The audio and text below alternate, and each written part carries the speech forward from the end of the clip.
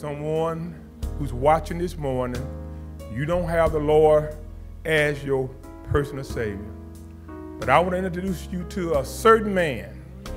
A certain man. Yes, God. He wants to be your Savior. I want to be your pastor.